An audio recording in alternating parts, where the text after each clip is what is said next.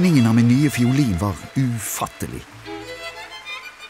Jeg spilte slik at hårene reiste seg på mitt hode. Flere damer fikk vondt og ble båret ut av salen.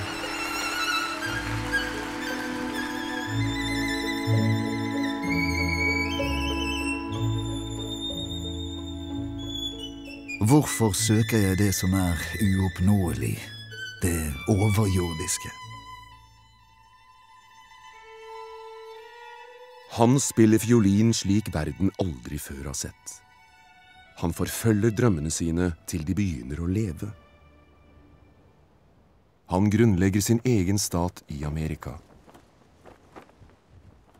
Han blir den første norske verdensstjerne. Men det koster.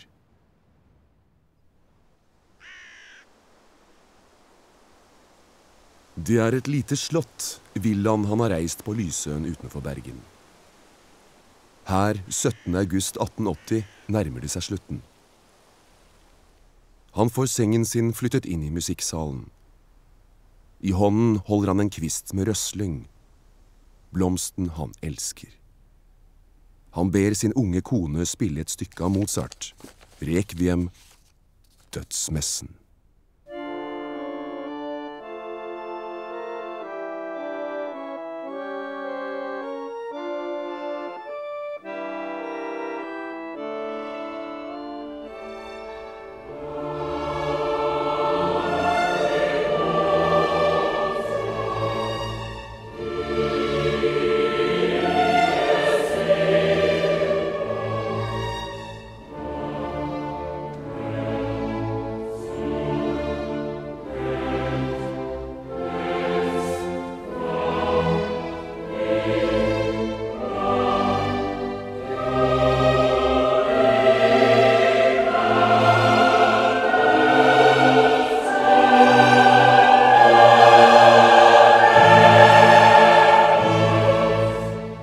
Den største gravferden Norge har sett. 15 dampskip følger kisten inn mot kaien i Bergen. På Nordnes samler det seg over 1000 korsangere. Landets aviser er kantet med sørgeran.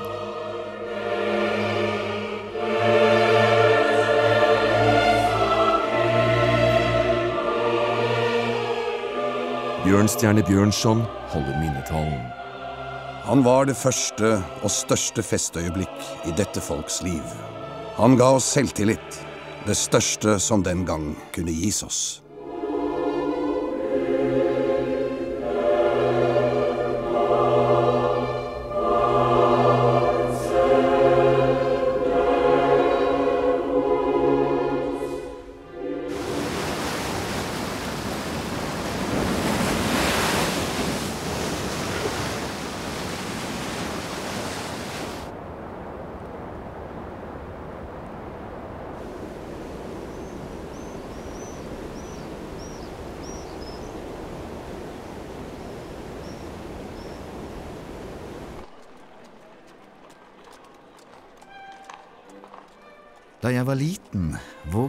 Til sent på kvelden. Jeg hørte musikk fra stuen. Min far samlet sine venner til huskonserter hjemme i apotekergården. Jeg snek meg ned for å se. Det virket som om fiolinene hadde et eget liv og spilte helt av seg selv.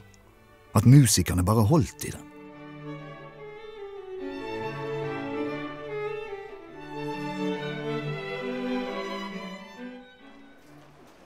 En dag kom en fransk handelsmann til byen med mange vakre fioliner i bagasjen. Det var spesielt én jeg forelsket meg i. Den var rød som et kirsebær. Jeg tigget og ba far om å kjøpe den, men eh, han ville ikke love noe. Endelig en kveld kom han hjem med den i en fin kasse. Jeg var helt forhekset. Men det var sent, og jeg skulle ikke få prøve den før neste dag. Da jeg trodde alle sov, sto jeg opp. Jeg ville bare se fiolinen. Og der lå herligheten, strålende rød med perlemor i skruene. Jeg syntes den smilte til meg. Jeg måtte ta den opp, stryke den og klunke litt på strengene. Fiolinen ble enda blidere og spurte om jeg ikke ville prøve den. Jeg glemte meg helt og spilte sterkere og sterkere, plutselig sto far i døren. Jeg skvatt slik at jeg mistet fiolinen i gulvet.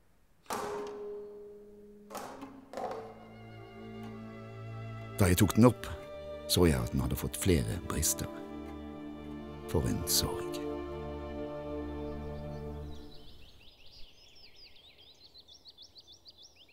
Så ofte jeg hadde mulighet, dro jeg til min bestemor på Osterøy. I heiene omkring Valestrand kunne jeg være ute hele dagene, bare lytte. Jeg syntes å høre at elvene og engene sang. Blåklokkene spilte, mens gresset akkompagnerte så fint på sine grønne strå.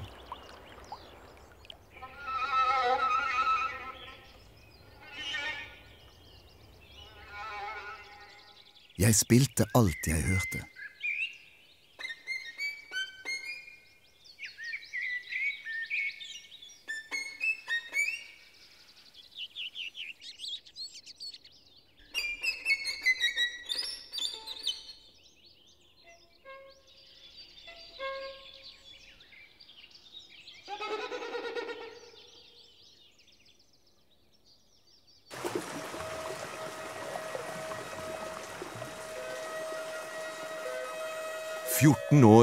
Vidunderbarn og veldig selvsikker. Det går rykter om den musikalske begavelsen over hele byen. Fiolinlæreren vil jekke han litt ned og gir han notene til en halsbrekkende kaprise av Paganini, verdens største fiolinist. Ole kan den allerede.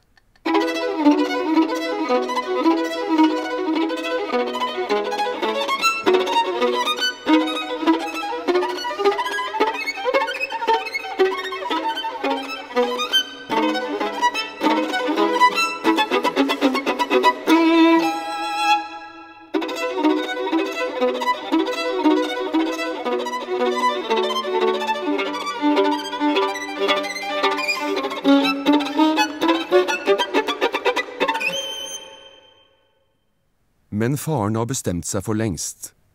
Ole skal bli prest. Han blir sendt til Kristiania i 1828, og Ole lover faren å ikke sløse bort tiden på musikk.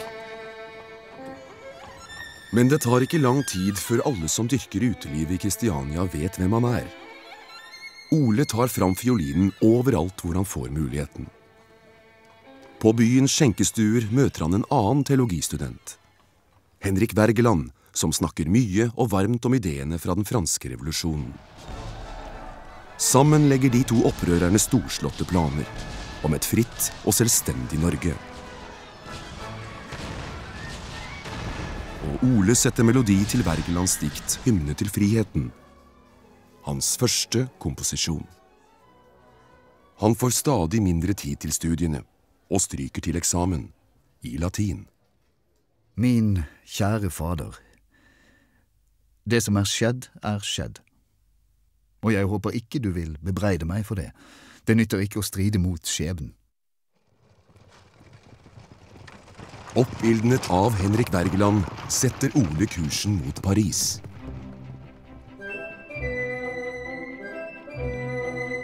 Hvilken ny verden er jeg ikke hensatt i?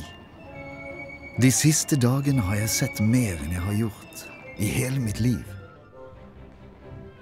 21 år gammel i Paris. For første gang opplever han den italienske operaen.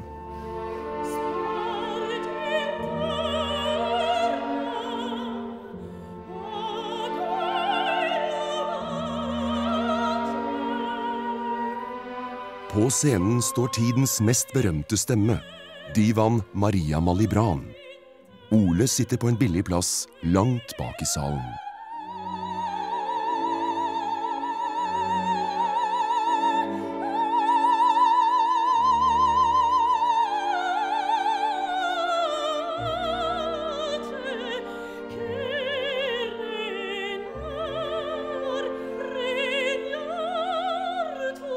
Stemmen, så vidunderlig fullendt, guddommelig. Jeg drakk tonene som den dyreste vin. Det var til å bli gal av. Jeg var redd jeg skulle få krampe, og at mitt hjerte skulle stanse.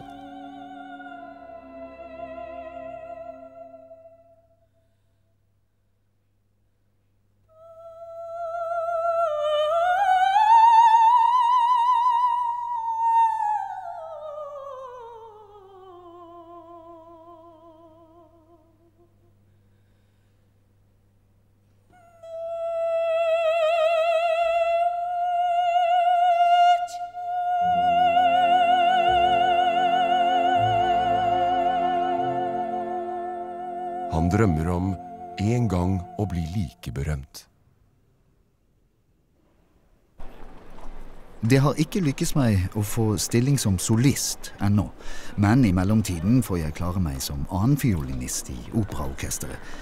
Jeg må bare avlegge en opptaksprøve først. Ole forbereder seg grundig. Da man her i Paris ser meget på klærne, har jeg i dag tatt mål hos skredderen og bestilt en bonjour, en sort kjole med bukse og en silkevest. Klærne koster mer enn en måneds husleie. Før opptaksprøven er han så nervøs at han nesten gir opp og går. På scenen får han stukket et noteark i hånden. Han ser på notene, på juryen foran seg, på notene igjen. Så spør han juryen om han kan få spille stykket baklengs. Ole Bull blir kastet ut, uten å ha spilt en eneste tone.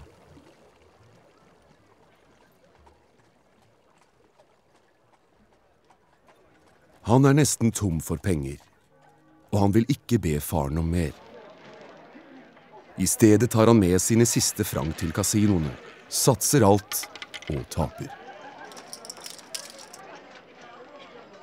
Han pantsetter alt han eier, først de dyre klærne, så fiolinene. Til slutt blir han kastet ut av hybelen. Da skriver han hjem. Kjære fader. Jeg tror jeg kommer til kort med mine penger. Er du for tiden i stand til å låne meg noe? Jeg skal aldri glemme din omsorg. Din hengivne sønn Ole Bull. Han får aldri svar.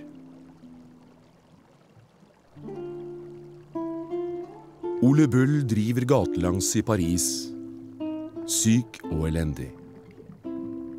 Tenker på å kaste seg i scenen. En dag vakler han inn i en gate. Ryde Martyr. På hus nummer 20 står en liten plakat med chambre, rom til leie.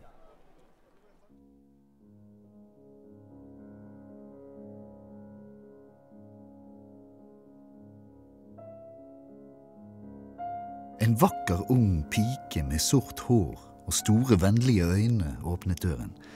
Hun smilte til meg. Men før jeg var ferdig med å presentere mitt ærend, kom en eldre kvinne til og sa at hun ikke leide ut rom til unge menn. Men den unge piken ble stående og stirre på meg, og så sa hun, Se på ham, bestemor. Se på ham, da. Han ligner på far. Jenta er 14 år, har nylig mistet begge foreldrene og heter Felicie. Før Ole rekker å si at han ikke har penger, gir bestemoren etter og slipper ham inn. Like etter sank jeg sammen. Felicie og bestemoren måtte støtte meg i seng.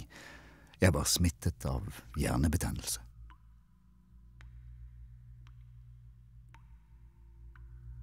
I flere døgn svever Ole mellom liv og død. Felicie og bestemoren pleier ham dag og natt.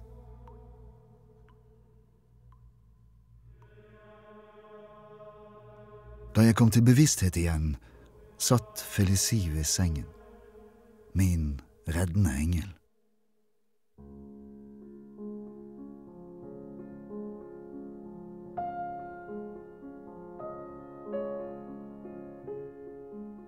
Hvilken lykke det var å se inn i hennes øyne, så fulle av tanker og godhet.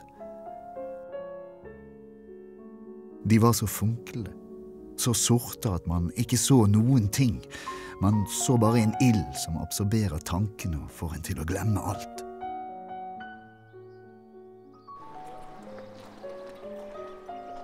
Han er frisk, han er forelsket, og han er fortsatt i Paris. Og til Paris kommer den italienske fiolinlegenden Paganini. Han skal holde avskjedskonsert i operaen.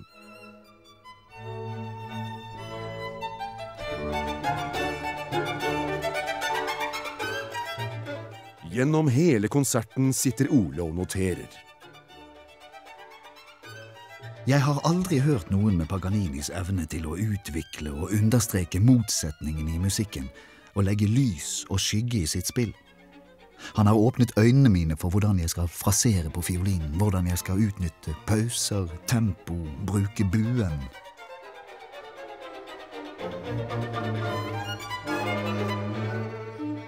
Plutselig vet han det. Han må til Italia. Han låner mer penger, tar farvel med Felicie og drar til Paganinis og operaens hjemland.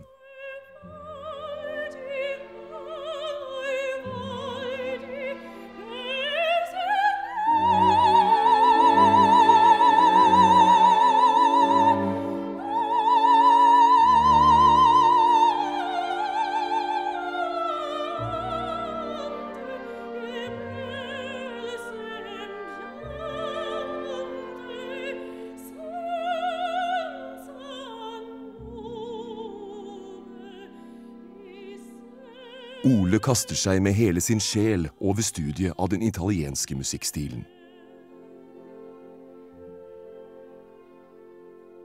Han oppsøker gamle mestere og følger rådet han får om å ta sangtimer. Sangen vil vise deg de skjulte kreftene som ligger i fiolinen. Den er nemlig det instrumentet som kommer nærmest den menneskelige stemmen. Ole vil få fiolinen til å synge slik ingen har hørt det før.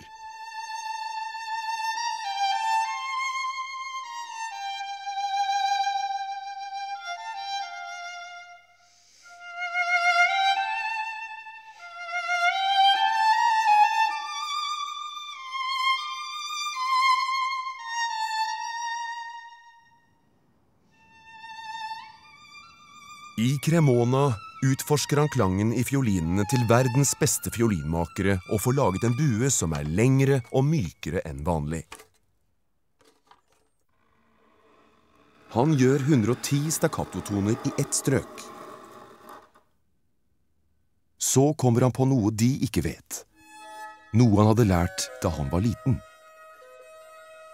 På hardingfelen svarer understrengene når man spiller på overstrengene, og slik kan glade sprett og ville kast bli til sorgfull gråt, alt på en gang.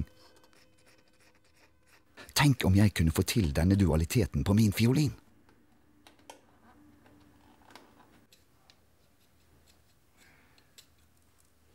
Jeg har filt ned stolen slik at jeg nå kan spille på alle fire strengene på én gang, firstemt. Dette er også et svar på Paganinis berømte måte å spille tostemt på én fiolin. Jeg håper det vil vekke sensasjon.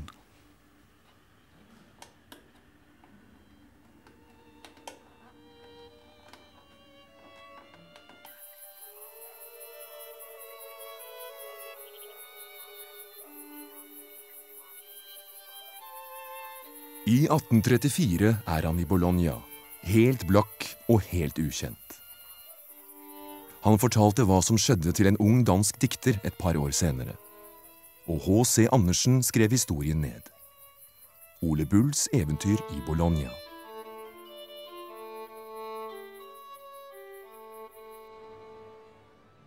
Det var annonsert konsert i et av byens teatre, og salen var overfylt. Forestillingen skulle begynne, men det så mørkt ut. Kveldens solist var blitt fornærmet og nektet å spille. Det rådet stor forvirring. Komponisten Rosinis hustru kom til og fortalte at hun på en aftentur hadde hørt de mest forunderlige toner fra et instrument som minnet om en fiolin.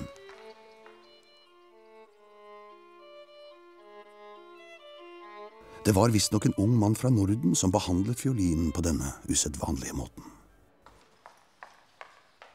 Et bud ble i all hast sendt til herberget der Ole Bull satt i sitt fattigslige loftsværelse.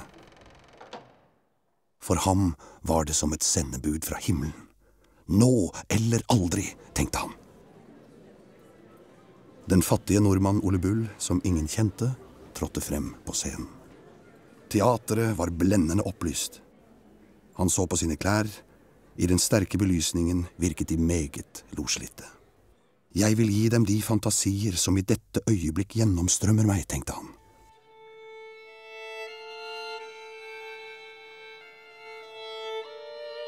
Han improviserte minner fra sitt eget liv, melodier fra hjemlandets fjell og hele sin sjels uro. Som trollmannens stav gled buen over strengene, mens svetten rant over hans panne. Det var feber i hans blod, sjelen ville rive seg løs fra kroppen, ildflammene funklet for hans øyne. Han følte at det var like før han sank sammen. Ennå noen raske buestrøk, den siste kraft han eide.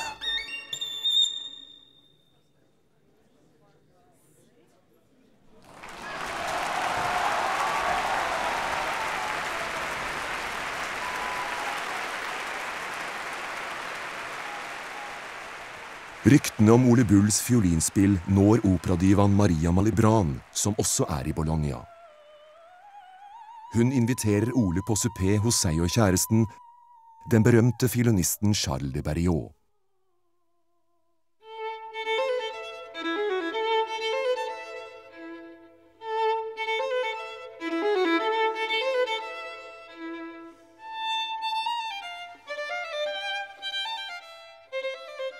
Jeg hadde ikke spilt mange strofene før Malibran snur seg mot Berriot og sier at min fiolin har en mye mykere og klarere tone enn hans. Så begynte jeg å improvisere, først noen alvorlige akkorder, før jeg gikk over i en brusende allegro. Maria Malibran var fra seg av glede.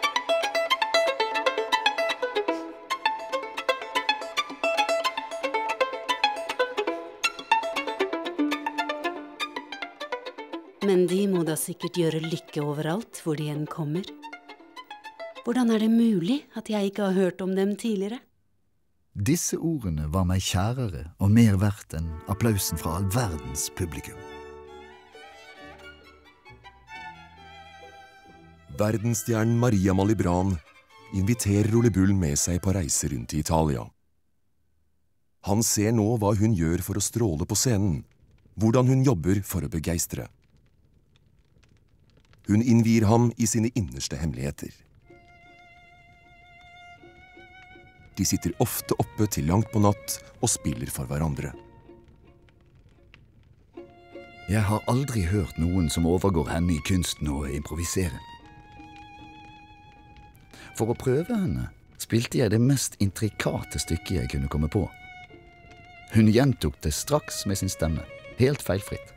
Jeg forstår ikke hvordan det var mulig. Ole blir besatt av Maria. Han har funnet sin tvillingsjel og glemmer at hun har en annen. Og Maria Malibran lar seg villig dyrke av den unge, kraftfulle nordmannen. Etter ti måneder er det plutselig over. Ole innser at han ikke vil få henne for seg selv.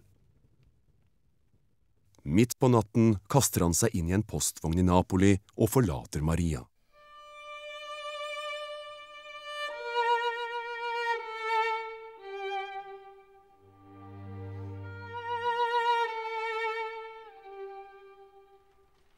Hva jeg følte? Smerte. En uendelig lengsel etter et uoppnåelig mål.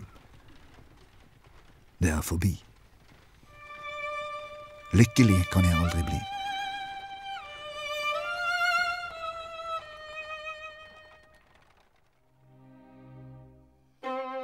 Ensomhet er min venn. Den sitter ved min side i mitt tause kammer.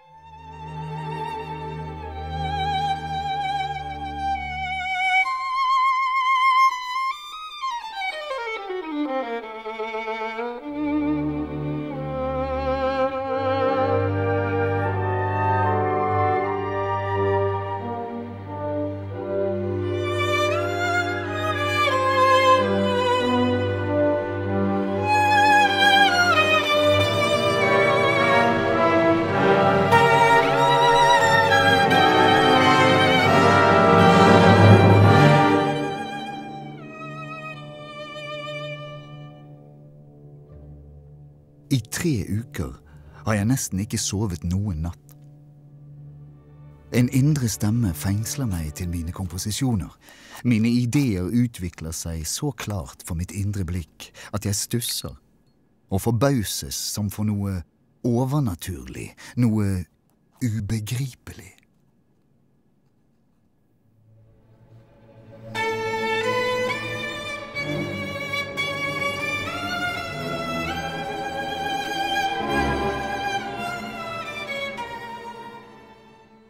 Etter å ha fullført tre store verk er Ole klar til å vende tilbake. Tilbake til Paris. Nå vil han vinne verdensbyen.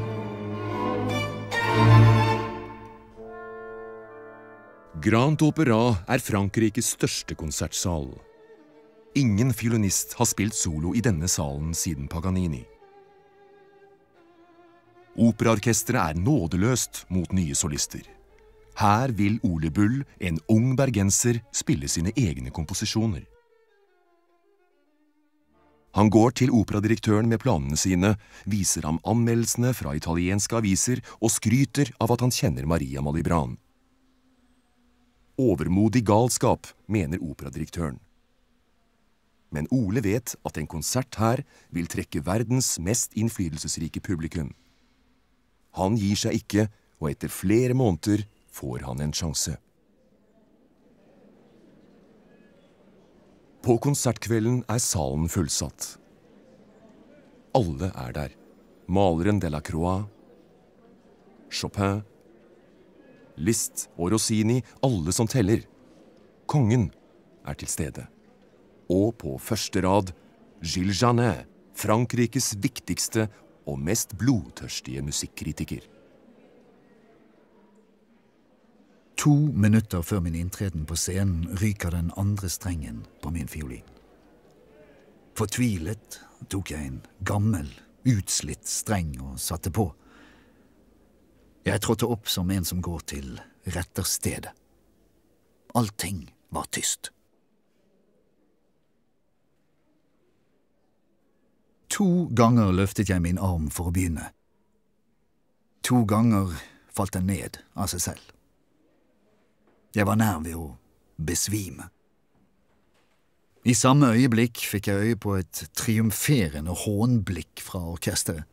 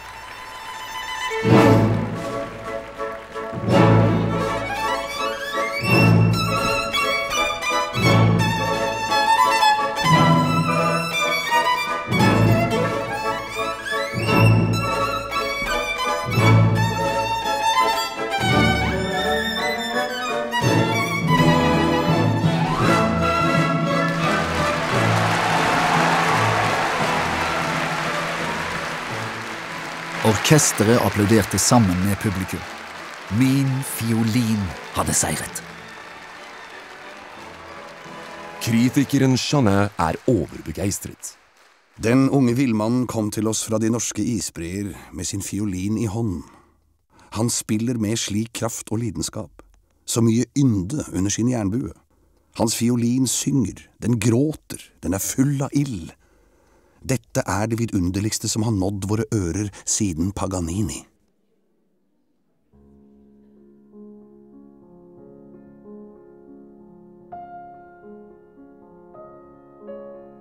Det er over to år siden han sist var i Rydemartyr.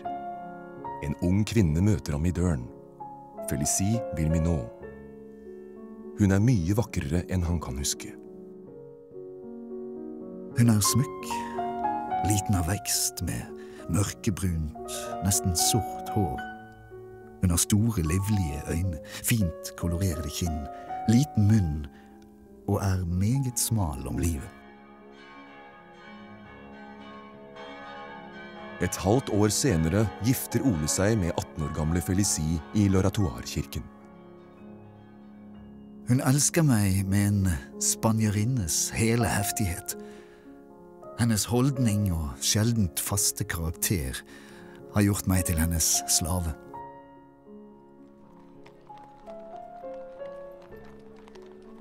Paris syder av nye ideer. Ole vanker sammen med tidens største musikere og forfattere. Han møter utopistene og inspireres av sosialisten Saint-Simon, som mente at kunstnerne er viktig i kampen for rettferdighet.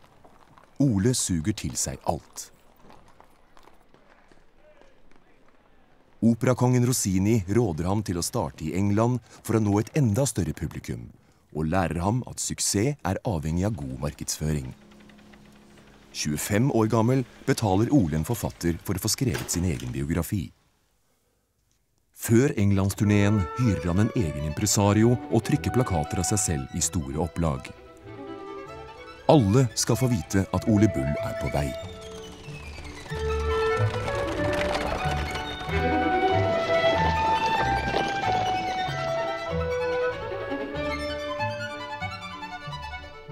Min kjære Felicie.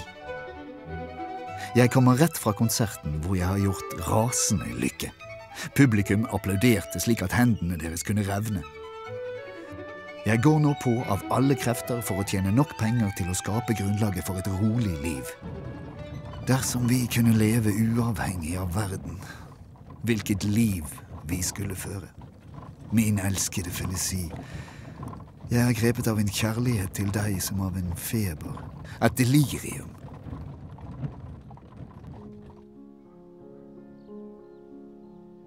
Min kjære Ole. Jeg er stolt av å være elsket av en mann som deg. Jeg beundrer deg og ser på deg som opphøyet. Jeg elsker deg med hele min sjel og for bestandig. Du må love meg å ikke spille mer enn du har godt av. Jeg er så redd for at noe skal skje deg, og la meg alltid vite når du er syk. Åh, om jeg bare kunne ha deg her hos meg.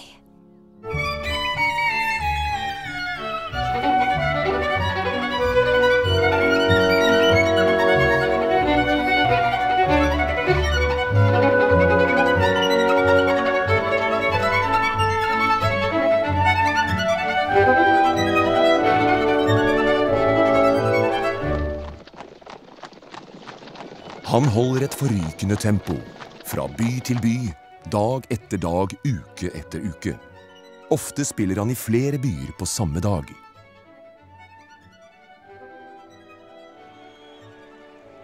I Bath kommer han flere timer for sent til sin egen konsert. Publikum buer. Men Ole er en mester i å improvisere. Og Nordens Paganini gjør det umulige. Han spiller den engelske nasjonalsangen God Save the King, firstemt på én fiolin.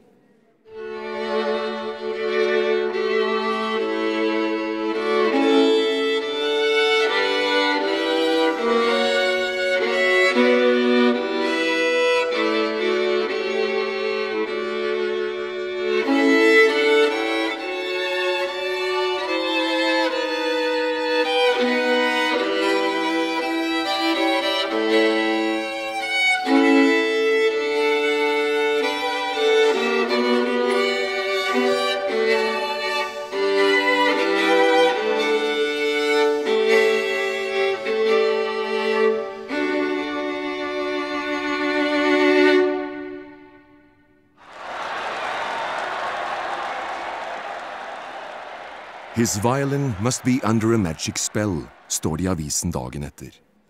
Anmelderen antyder at han har en ekstra fiolinist bak sceneteppet. For noen kritikere går publikumsfrieriet for langt. Ole Bull trekker tonekunsten ned i avgrunnen. Som komponist har han solgt seg til djevelen for å bli ansett som et stort geni. I musikken er han en skamløs gjøgler som enhver sann musiker må vemmes av. Herr Bull imiterer av og til et slags følelsesuttrykk ved å gni på en tone frem og tilbake. Og dette kaller man kunst. Han er en sjarlatan. Ole forsvarer seg ivrig. Musikken hans er en fornyelse av det klassiske og forutsigbare. Han oppsøker avisredaktører overalt hvor han spiller, og gjør seg til venn med dem.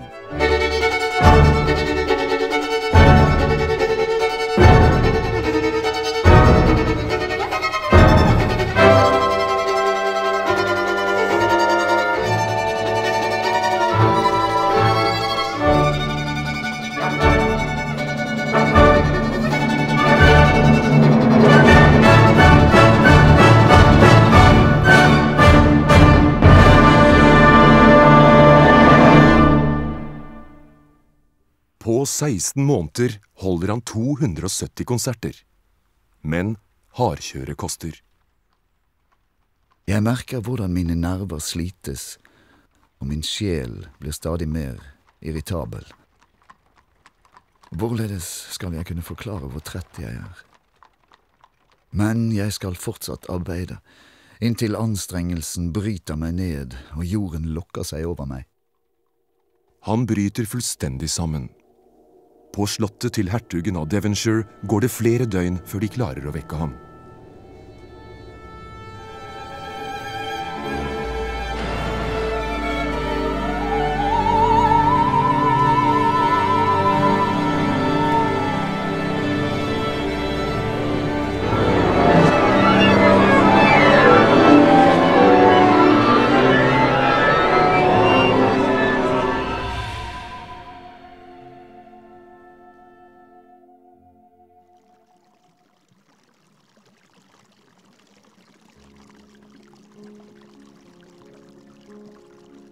Kjære Ole.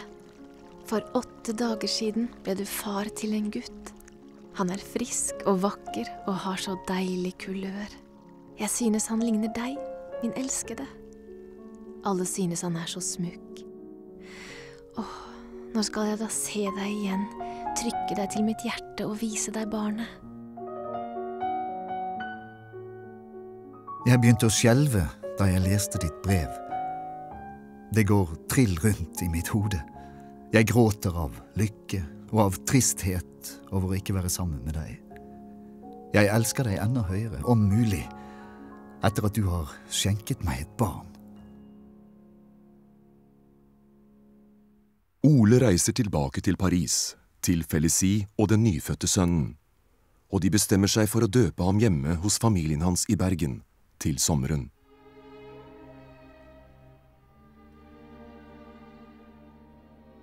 Men først er Ole klar for Europa.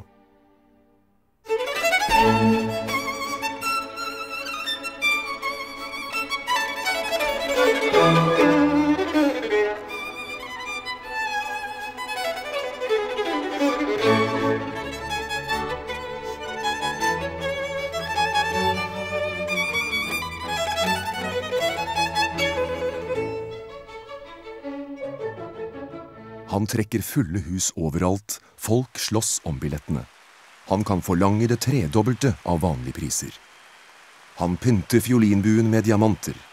På scenen lar han buen trylle fram illusjonen av en uhørlig tone, selv etter at den er løftet fra strengen.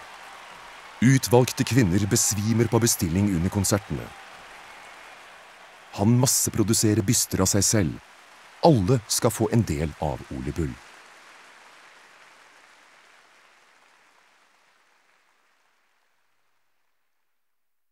Virkningen av min nye Guarnerius-fiolin var ufattelig. Da jeg spilte, følte jeg at hårene reiste seg på mitt hode. Orkesteret gråt uten å akkompagnere. Flere damer fikk ondt og ble båret ut av salen.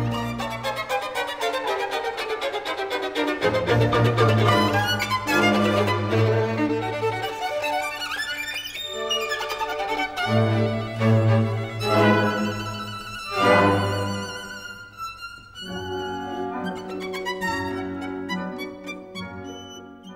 Ole har en magnetisk tiltrekningskraft. Han får kjærlighetsbrev fra kvinner han har truffet underveis.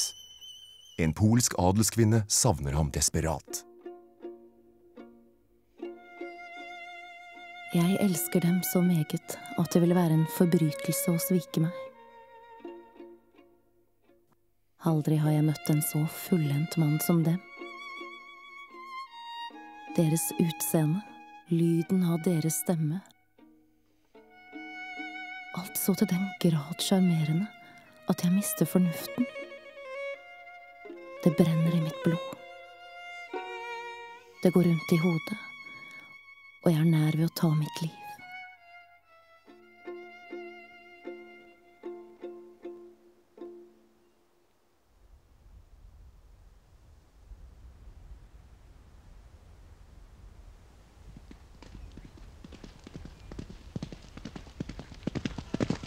Spania får Ole vite at dronning Isabella 2. skal holde bryllupsfest i Madrid. Han avlyser straks flere konserter og haster mot hovedstaden. Der skriver han et nytt stykke, La Verbena de San Juan, til den unge dronningen, med kastanjetter i akkompagnementet.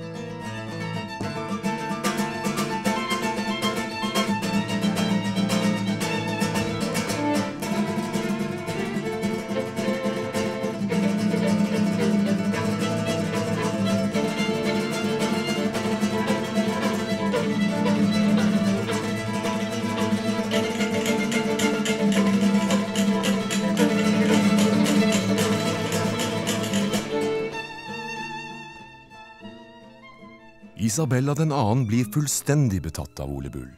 Så betatt at hun vil utnevne ham til general i den spanske armé. Hun er kjent for å benytte sine generaler også til mer intime manøvrer. Og når avskjedens time kommer, gir hun ham en kostbar brosje med 140 briljanter.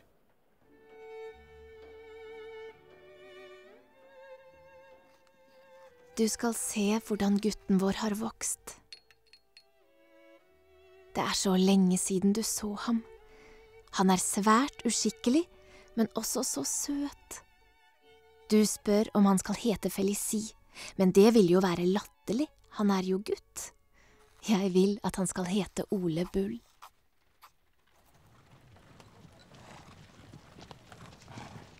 Han er 28 år og troner øverst på den musikalske stjernehimmelen. Dypt inne i Russland får han et brev fra Norge, fra broren Edvard. Faren er død.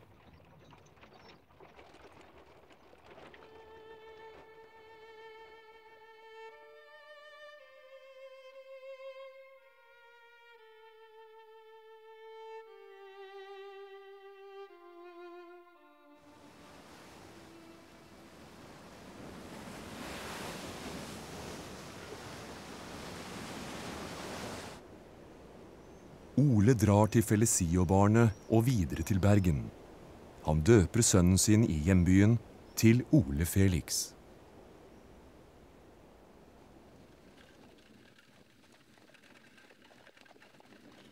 Når Ole må av gårde igjen, inviterer han Felicie med i turnévognen. Lille Ole Felix, ett og et halvt år gammel, blir igjen i København sammen med den franske barnepiken.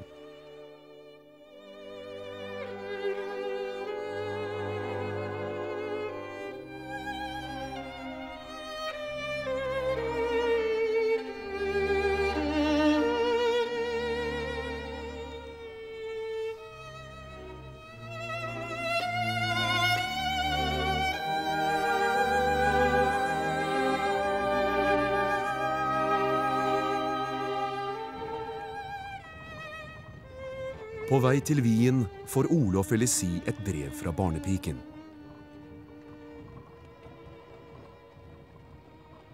Madame, Ole Felix er svært dårlig. Jeg forsøkte å få ham til å gå, og han beveget seg litt. Klokken ti sovnet han på fanget mitt, og jeg la ham derfor i sengen. Klokken elleve fikk han noen voldsomme krampetrekninger. Legen fortalte meg at der ikke fantes håp. Gutten vil ikke overleve dagen. Det er jo bare de som mor som er i stand til å forstå hvilken tilstand jeg befinner meg i. Jeg ser alle lidelser som de ikke kan se. Når de får dette brevet, har de ikke lenger noen sønn. Jeg ser Ole Felix så syk. Hva har fått ham til å kysse dette brevet? For det er det siste kyss de får fra ham.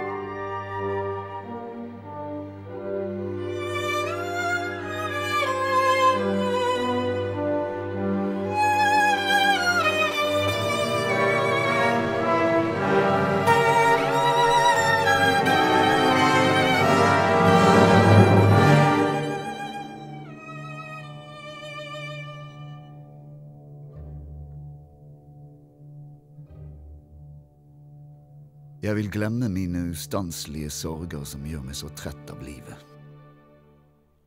Gud vet jeg har lidd meget, og ethvert pengestykke jeg eier er merket med mitt blod. Jeg lengter sånn at komme til Norge, til Valestrand.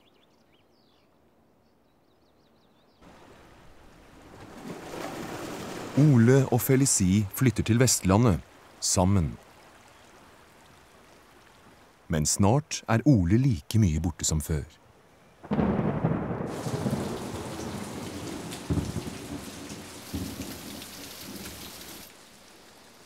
Her er et forferdelig regn og en skrekkelig vind. Det gyseligste klimaet jeg noensinne har sett. Jeg håper ved Gud du snart er tilbake. Felicie finner seg ikke til rette i Bergen og reiser til slutt tilbake til Paris. I løpet av fire år har de fått tre barn.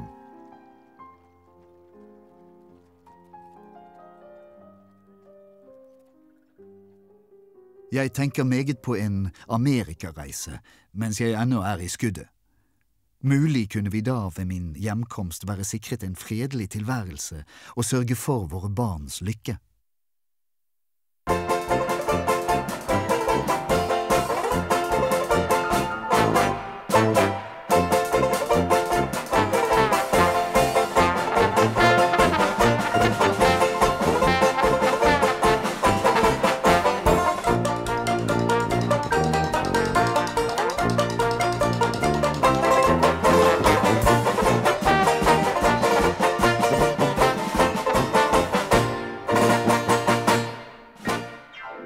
Til amerikaturneen drar Ole i gang en enorm PR-kampanje.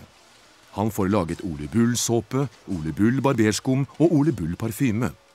Produktene er på markedet i god tid før konsertplakatene og forhåndsomtalene. Han er berømt før han har spilt en eneste tone.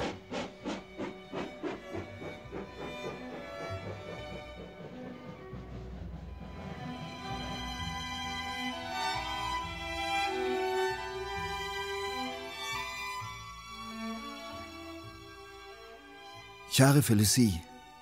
Jeg arbeider og reiser uten stans, gir konserter hver dag og sliter med alle mulige stridigheter, og så får jeg ikke det minste brev fra deg. Har du glemt meg? Elsk meg alltid, og omfavn våre små. Du reiser til Amerika og er tilfreds, for du vet at du vil bli smigret og feiret overalt. Men du tenker ikke på at vi muligens aldri sees igjen. Om noen måneder vil du ha enda et barn med meg. Ole tjener en formue på amerikaturneen. Men han er alltid på utkikk etter noe nytt. Han får høre om det største og flotteste operahuset i verden, Teatro Tacon i Havanna. Det er gode tider på Cuba.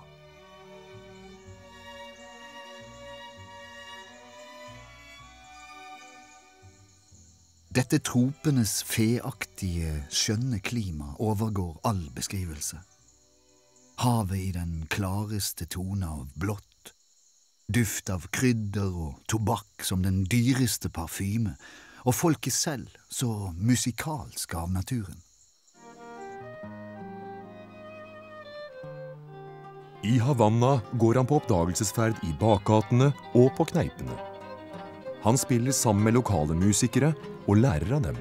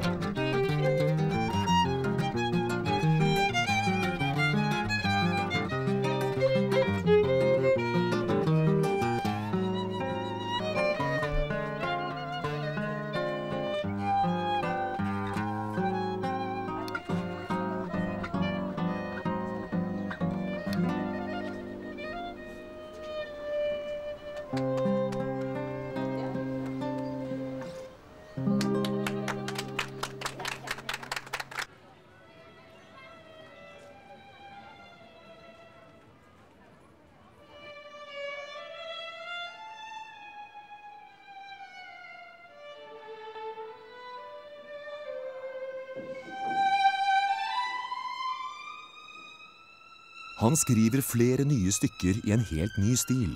Fletter inn populære cubanske melodier, habaneras og contradansas, og fornyer den europeiske tradisjonen. Han lager verdensmusikk. I den voldsomme varmen arbeidet jeg av alle krefter. Jeg var smittet av havanesernes entusiasme og var svært oppstemt da jeg komponerte mine cubanske verker. Teatro Tacon har flere tusen plasser. Ole leier hele palasset for egen regning. Han engasjerer Havannas beste orkestermusikere.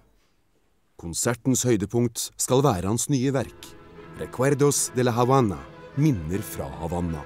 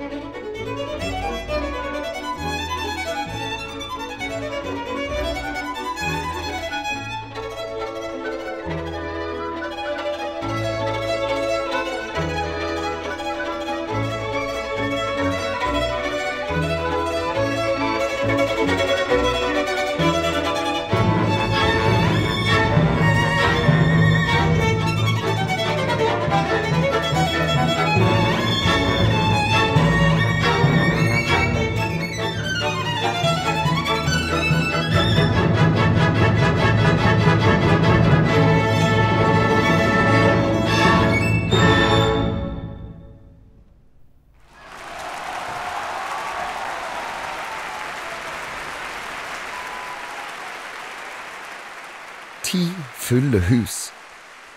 Havanesernes begeistring har fullkomment lønnet mine anstrengelser. Kjære Ole. Jeg gjør ikke annet enn å gråte, men ingen kan høre meg. Vår lille gutt Ernst er nå død, uten at du noen gang fikk se ham.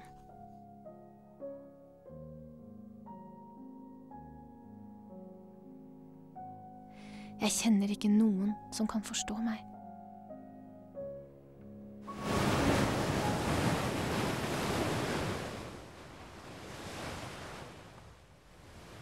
Min kjære Felicie.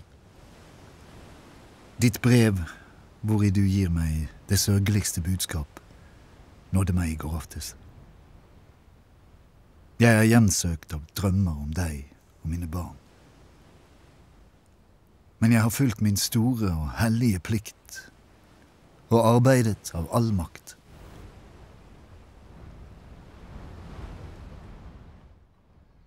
Omsider kommer Ole tilbake til familien i Paris.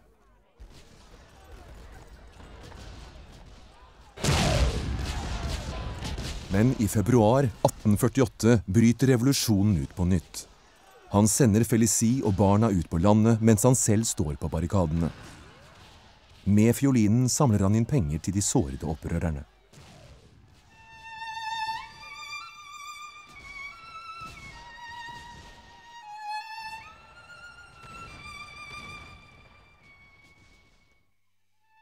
Revolusjonen seirer. Og Ole Bull utnevner seg selv til norsk ambassadør. Han marsjerer i spissen for 20 nordmenn til Justispalasset. Der overrekker de et rent norsk flagg uten unionsmerke til revolusjonslederen Lamartine. Mer enn 50 år før Norge blir selvstendig.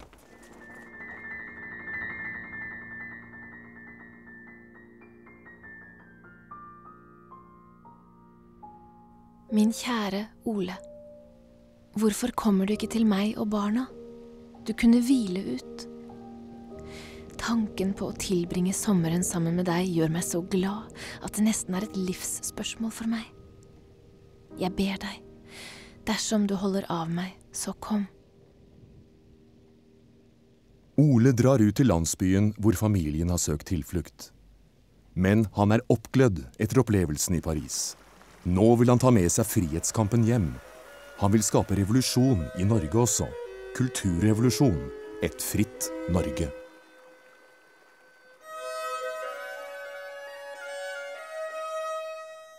Men Felicie nekter å bli med til regnværet i Bergen. På vei hjem møter han en gammel bekjent fra Kristiansand. Han tilbyr Ole et landsted på Sørlandet. Og Ole kjøper det usett. Jeg har kjøpt den praktfulle gården Andøen helt syd i landet, hvor klimaet er meget mildt. Jeg vil så gjerne kjenne følelsen av å ha et hjem, med våre egne jorder. Og tenk hvordan våre barn vil kunne more seg der.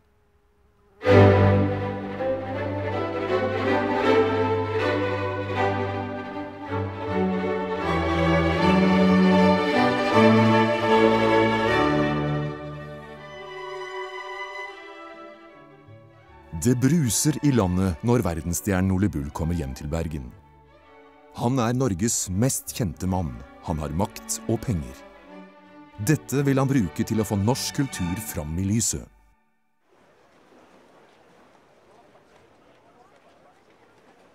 Våre teatre beherskes av danskene. Men rundt om på torg og gater i Bergen går det et mylder av mennesker som er fødte skuespillere. Slagferdige replikker fødes hele tiden på deres lepper. Hvorfor da ikke forsøke å få i stand et norsk teater her hjemme, hvor den dramatiske begavelsen ligger i luften? Ole Bull annonserer etter skuespillere, musikere, dansere og diktere. Responsen er enorm. Det blir tidenes audition. Han betaler alt av egen lomme. Det Norske Teater åpner i Bergen 2. januar 1850. Salen er overfylt. For første gang snakker skuespillerne på norsk. I siste akt går Ole Bull selv på scenen. Han har skrevet en hyllest til fedrelandet. Et seterbesøk.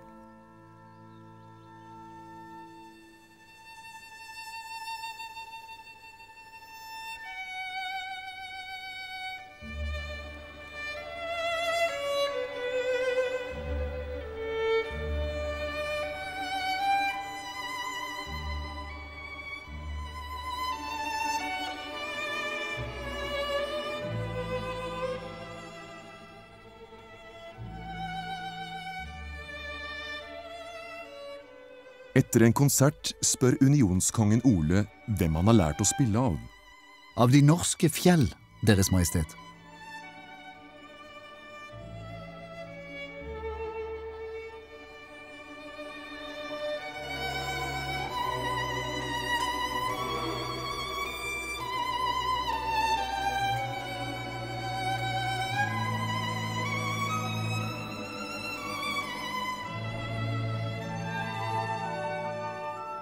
Når Tidemann og Gude maler det norskeste av alle norske malerier, 'Brudeferd i Hardanger', står Ole Bull modell for felespilleren.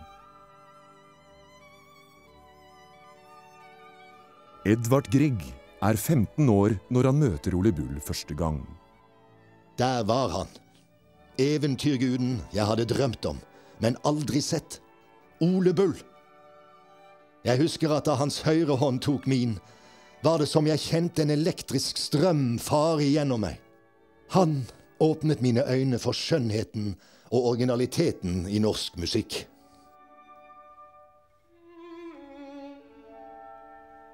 Felicie lar seg overbevise om at Andøen er et mildere stykke Norge. Og barna gleder seg til å få sin egen hage helt syd i landet. Men på Andøen kommer de til tomt hus. Jeg er forundret over at du kan være så henrykt over Andøen. En eiendom du burde ha sett før du kjøpte den. Huset er kun en sommerbygning. Men når jeg og barna er kommet hit, håper jeg i det minste de kan lære deg å kjenne og bli glad i deg.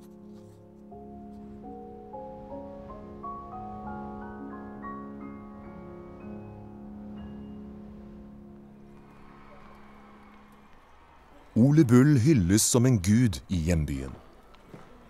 Hver kveld følges fiolinkongen hjem av horder med beundrere. De samler seg utenfor vinduet hans og feirer ham til langt på natt. Det går rykter om at husvertinnen tapper badevannet hans på små flasker og selger det til de bergenske fruer. Og teaterskredderens datter blir gravid i all hemmelighet.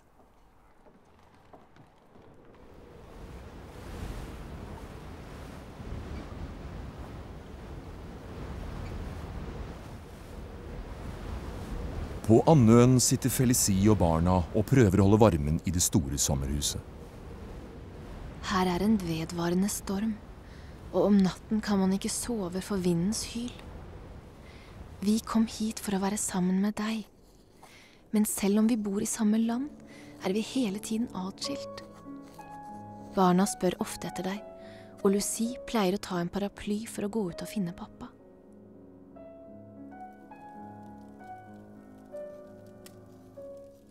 Jeg ville gjerne komme så ofte som mulig og se til dere, men eh, jeg kan dessverre ennå ikke. Det er tusen ting å gjøre, og jeg er overalt. Jeg tilhører all verden, kun ikke meg selv. Forstår du, kjære Felicie, jeg er nødt til å fullføre verket. Teatret er et nasjonalt monument, en ære.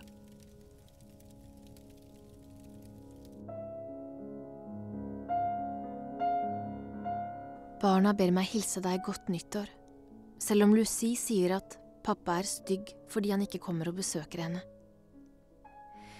Jeg håper at de teaterforetakene fortsetter å gå etter ditt ønske, og at du derigjennom kan bli lykkelig, for jeg føler nok at du ikke er det med meg. Du sier du lever med dine fioliner, men jeg er ikke lenger så naiv at jeg sluker slikt tøv. Jeg vet meget godt at du har andre. Hvis jeg ikke hadde hatt de stakkars små barna, så ville jeg for lengst ha satt sluttstrek for min ulykkelige tilværelse.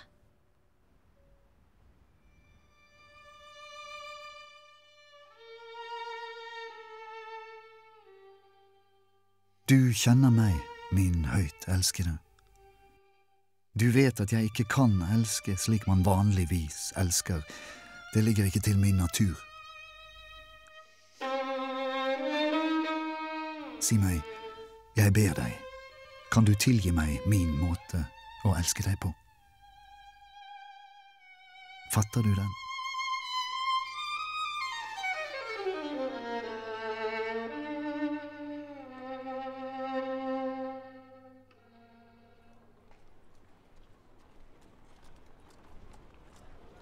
I nesten to år har Ole brukt all sin tid på å bygge opp teater i Bergen. Han satser friskt på nye talenter. En av dem er en ukjent forfatter fra Skien. Henrik Ibsen får jobb på én betingelse. Han må skrive ett nytt teaterstykke hvert år. Teatret blir populært, men det er vanskelig å få det til å gå rundt i en liten by som Bergen. Ole mener at staten må bidra, og legger hele sin prestisje i en søknad til Stortinget om driftsstøtte. Etter fire uker får han svar. Stortinget avslår søknaden. Enstemmig.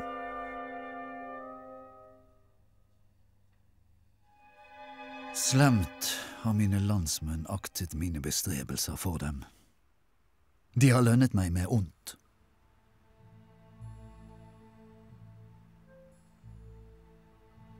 Sent på høsten får han vite at Felicie har bedt om separasjon. Han reiser til Andøen, men der er det tomt. Jeg har vært på Andøen hele denne tid, i den komplette ensomhet. Om natten har jeg spasert i skogen til klokken to, om dagen alene med mine fioliner. Felicie har flyttet til venner i byen med barna for å slippe en ny kald vinter. Ole får avverget separasjonen. Men han kommer ikke over nederlaget i Stortinget. Drømmene hans kan ikke virkeliggjøres i Norge.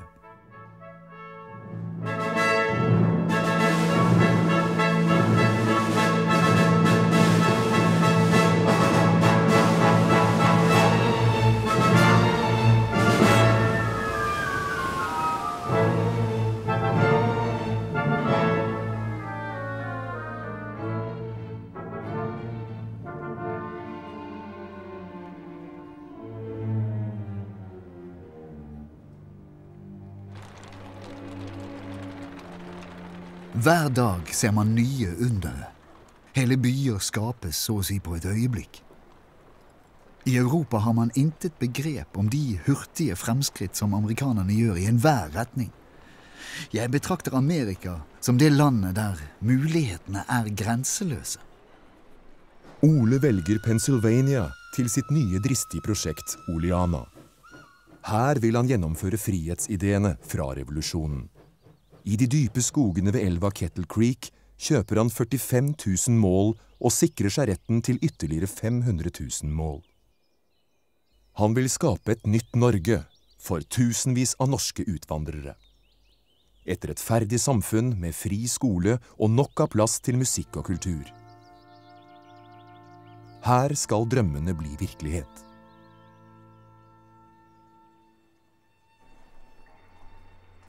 I New York står Ole på kaia og spiller fiolin når immigrantene kommer.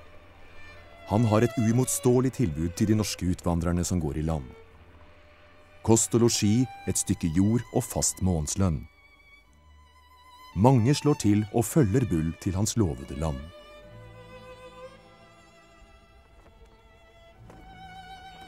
Den 8. september 1852 heises et helt nytt flagg over Ole Bulls koloni. Det norske flagget kantet med de amerikanske stjernene. Norske brødre. Vi har kommet til denne vakre dalen for å skape oss et nytt hjem. Her skal vi grunnlegge et nytt Norge, viet til frihet og uavhengighet. Jeg døper deg Oleana.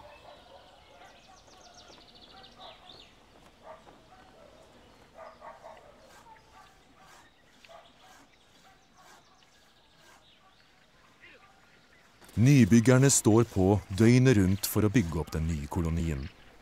Ole Bull rir rundt og viser hvor alt skal stå. En skole her, en kirke der. Sagbruk og jernverk. Frukthager og sykestue. Ole bestiller 150 flosshatter i silke til koloniens landhandel.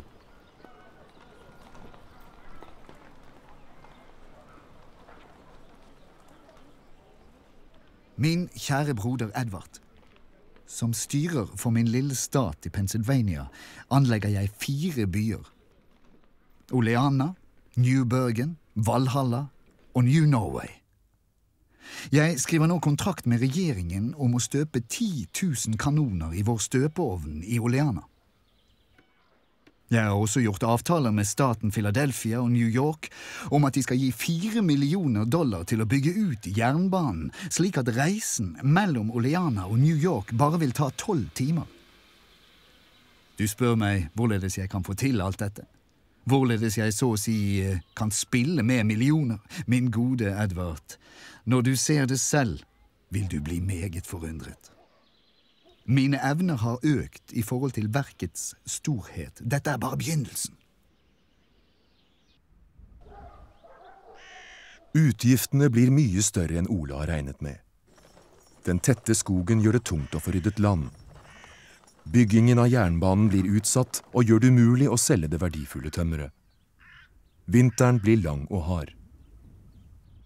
Snart klarer han ikke å betale nybyggerne den lønnen han har lovet dem. Én etter én forlater kolonistene Oliana. Noen av dem skriver leserinnlegg til norske aviser. Det er intet annet enn store trær, høye fjell og trange daler. Jeg har ikke sett så stygt land i Norge. Så Gud hjelpe de stakkars nordmenn som kommer til Ole Bulls koloni. Er dette Ole Bulls paradis?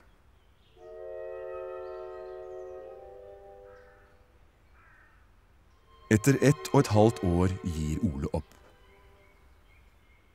Han er 43 år gammel. Drømmen om et nytt Norge er knust. Ole Bull er ruinert.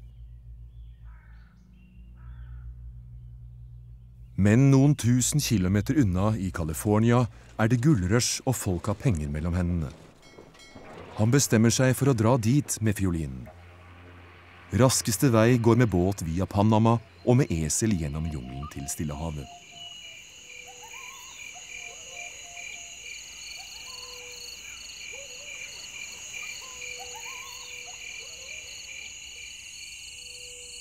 I det tropiske klimaet blir Ole slått ut av en livsfarlig feber.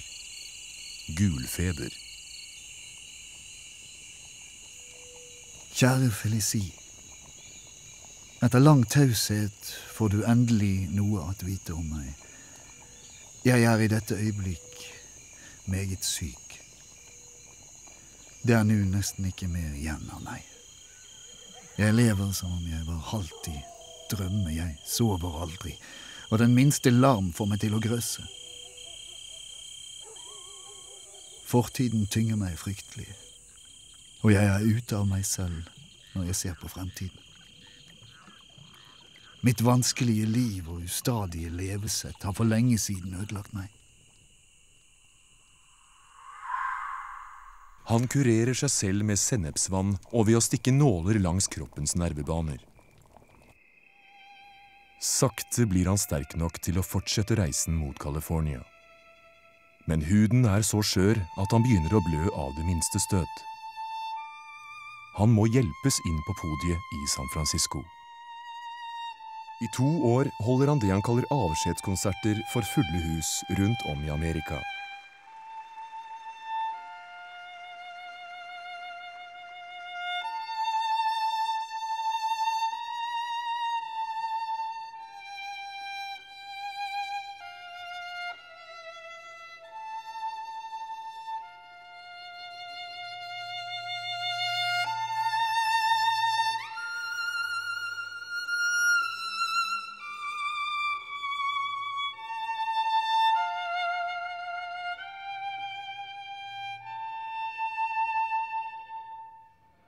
For å overleve i Norge har Felicie solgt Andøen og flyttet til Kristiania. Men pengene er brukt opp, og Felicie er plaget med dårlige nerver. Hun ser ingen annen utvei enn å sende 16-åringen Alexander til Amerika for å hente faren hjem. Jeg sender deg vår sønn Alexander. Jeg håper du vil ta imot ham som en far. Våk over ham og beskytt ham av all din makt. Alexander vil si deg hvordan alt står til med meg. Jeg forteller ingen detaljer. Jeg har altfor mye sorg til å kunne skrive mer. Jeg omfavner deg av hjertet. Reisen over tar ti uker, og Alexander møter faren i Chicago. Men Ole vil ikke hjem ennå.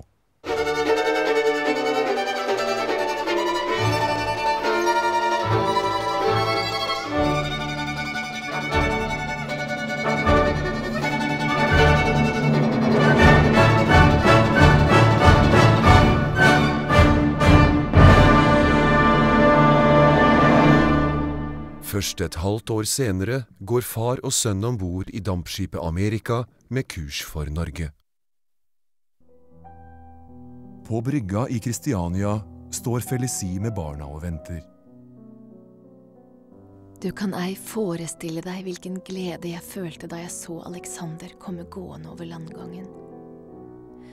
Men så skulle du ha sett våre skuffede ansikter da vi skjønte at du ikke befant deg om bord. Vi fikk din beskjed, og etter å ha overveiet det, var det kanskje like bra at du ikke landet i Kristiania. For tiden er jeg nok ikke den mest lystelige å være sammen med. Mitt hode er så svakt. Jeg har øyeblikk av åndsfraværelse og sover nesten ikke.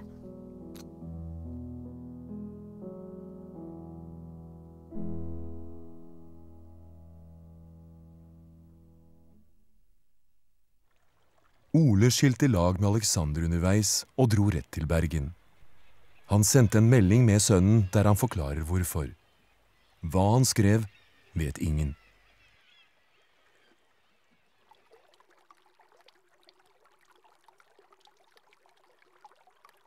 Kjære Felicie. Holder du ennå av meg? Du kan vel neppe gjøre det etter så mange års fravær. Men jeg har nå kjøpt Valestrand av min mor. Mitt håp er at vi på mitt kjære barndomssted kan forene familien for alltid og endelig skape et hjem.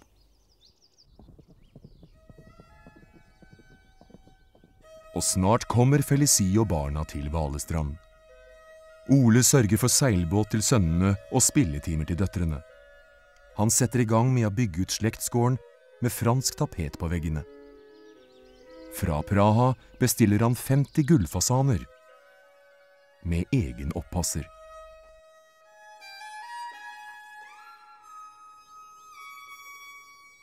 Men en dag er Felicie borte.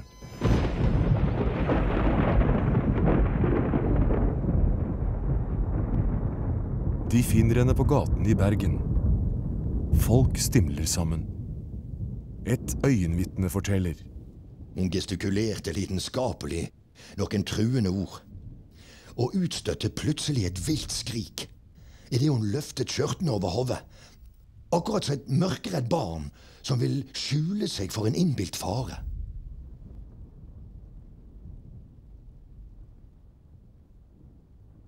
Ole søker om plass til henne ved det nye asylet på Gaustad i Kristiania. Min sinnssvake kone bedes opptaget. Beste forpleining søkes. Svar utbedes. 20. juli, fru Felicie Bull, 41 år, Ole Bulls kone. Førested Frankrike, bopel Bergen. Sykdom manisk. Sykdommens sannsynlige årsak familiesorg og hjemlengsel. Hennes stemning er ytterst vekslende. I det ene øyeblikket munter og overgiven, og andre øyeblikk vrang og urolig. Hun er full av narrestreker, samt temmelig erotisk, og blotter seg. Kjære Felicie. Jeg er på nytt ute på turné. Gjennomtrengt av dyp sorg og unevnelig smerte skriver jeg disse linjer til deg. Håpet om å kunne være sammen med våre barn og kunne oppdra dem under min egen kjærlige oppsikt har veket plassen for motløshet. Jeg har forsømt meg selv, min familie, mine forretninger, for å fremme sansen for den sanne kunst og det nasjonale skjønne. Dersom jeg bare kunne komme til deg i stedet for dette brev. Gud velsigne deg og gjøre deg sterk og frisk. Din hengivne Ole Bull. 26. februar 1862 skriver sønnen Torvald til sin far. I dag klokken halv tolv døde moder. Stakkars. Men jeg tror hennes siste time var ganske tålelig. Småpiken og jeg satt hos henne inntil hun døde.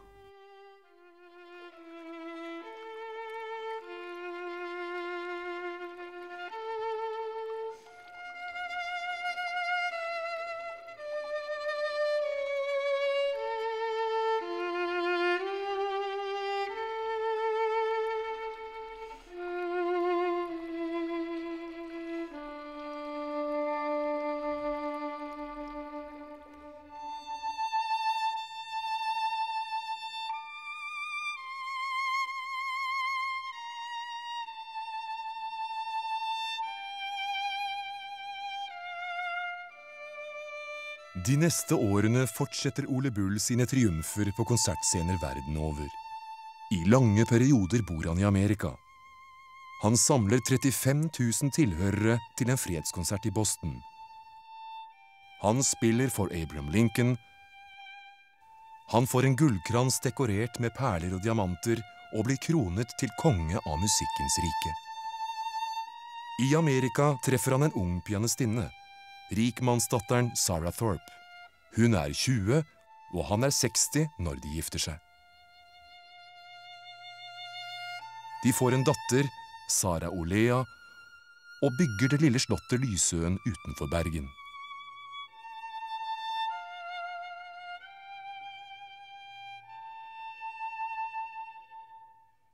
Hvorfor søker jeg det som er uoppnåelig, det overjordiske?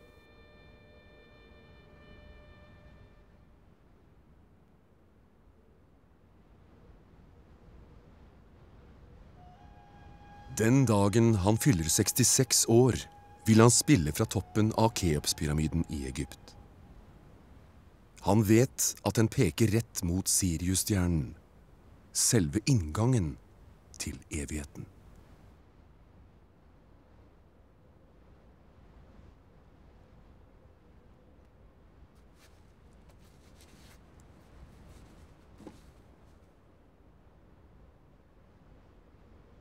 Hva er belønningen for et forspilt liv?